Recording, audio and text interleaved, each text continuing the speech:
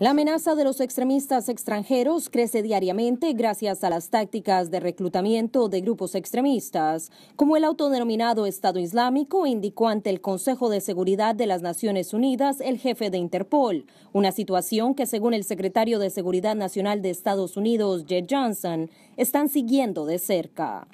En años recientes hemos sido testigos del flujo sin precedentes de combatientes terroristas extranjeros a áreas de conflicto que incluyen Afganistán y el Cuerno de África, Yemen, Libia, Siria e Irak. De acuerdo a Johnson, los Estados Unidos han establecido 80 acuerdos bilaterales con 45 países para compartir información acerca de sospechosos de terrorismo, la cual es usada por autoridades fronterizas y servicios de seguridad.